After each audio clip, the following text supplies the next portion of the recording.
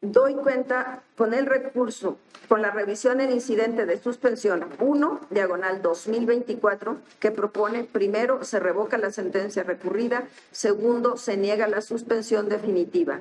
Ministra Esquivel Moza. En contra. Ministro Aguilar Morales. En contra. Ministra Batres Guadarrama.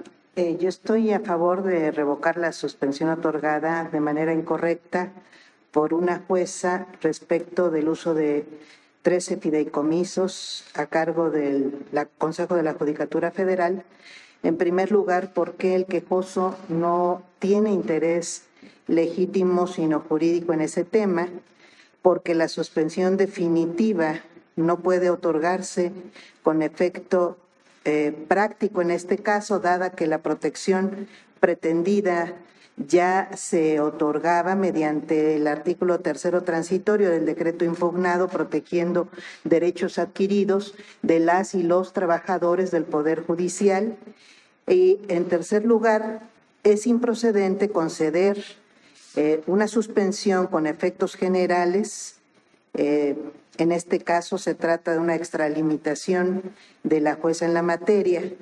Y más aún en este en esta suspensión otorgada de manera excesiva, eh, considero que eh, se hizo en perjuicio del interés social y contraviniendo el orden público, eh, dado que la jueza priorizó intereses propios que los de la población al impedir que los recursos de los 13 fideicomisos se destinaran a atender los daños y desastres ocasionados por el huracán categoría 5 Otis en el estado de Guerrero, como dispuso el Congreso de la Unión mediante decreto de 25 de noviembre de 2023 y porque se han dejado de disponer recursos, los recursos restantes eh, de acuerdo con el tercero transitorio de ese decreto, para el cumplimiento de programas dirigidos al bienestar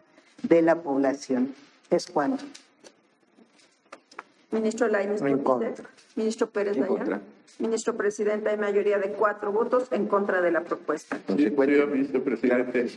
Muy brevemente, omití señalar algunas razones y muy, muy brevemente, nada más quiero señalar que no comparto el sentido ni las consideraciones del proyecto por diversas razones. La suspensión debía concederse siempre y cuando no se afecte el interés social ni se contraviertan disposiciones de orden público, lo cual no aprecio que suceda en el caso, pues el eventual fin que se pretende dar a los fondos que conforman los fideicomisos podría obtenerse de las, eh, partidas presupuestales que sin duda tiene a su disposición el Poder Ejecutivo Federal. Además, procesalmente este no es el momento para analizar si se vulneran o no esos derechos, pues eso correspondería en todo caso al fondo del juicio de amparo. Sin embargo, para preservar la materia del juicio, es necesario suspender los efectos del decreto impugnado y mantener el actual funcionamiento de los fideicomisos, pues de no concederse la suspensión, el juicio de amparo perdería toda finalidad y materia, lo cual es contrario a los artículos 17 y 107 de la Constitución General. Muchas gracias, señor presidente. Eh, gracias, señor ministro. De modo que con la votación ya recogida, el asunto se vota en contra y procede a su retorno de acuerdo con nuestro sistema de asignación, señora secretaria, ¿a quién correspondería?